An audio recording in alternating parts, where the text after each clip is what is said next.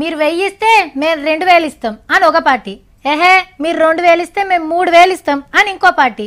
మీరు రైతులకు మూడు వేలు ఇస్తే మేము ఐదు వేలు ఇస్తాం అని ఇంకో పార్టీ. ఏగా ఐదేం సరిపోతాయి? మేము ఏడు వేలు ఇస్తాం అని ఇంకోగలు ఇట్లా పోటీలు పడి పెంచుకుంటూ పోతారు ఎలక్షన్ల ముంగట. అయితే ఇప్పుడు పార్టీ మేనిఫెస్టోని విడుదల చేసింది. కానీ అందులో ఒక గమ్మతి హామీ ఉన్నదిలా రైట్ డిఎంకే పార్టీలు ఒక ఖతర్నాక్ హామీ ఇచ్చిండ్రు.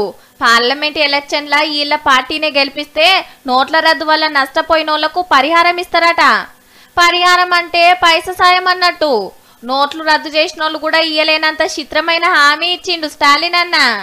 ఆవు మరి పాత నోట్లను మార్చుకుంటందుకు చిన్నగా తిప్పలు పడ్డారు పబ్లిక్ పని పాట ఇచ్చిపెట్టి పదిహేను ఇరవై రోజులు బ్యాంకుల ముంగట లైన్లు కట్టిండ్రు.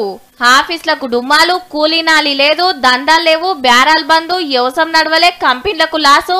ఏమని చెప్తాం ఎన్నని చెప్తాం? మరి ఎవరికి ఎంత నష్టం జరిగిందనేది వీళ్ళు ఎట్లా లెక్కేస్తారో? ఎంత నష్టం జరిగితే ఎంత ఇస్తారో ఇస్తే అందరికి ఇస్తారా అని ఆలోచనలు చేస్తుండట తమిళ ఓటర్లు. నోట్ల రద్దు పరిహారం హామీతోటి డిఎంకేకు ఎన్ని సీట్లు వస్తాయో నోట్ల రద్దు చేసిన వాళ్ళకు దేశంలో ఎన్ని సీట్లు వస్తాయో చూడాలి.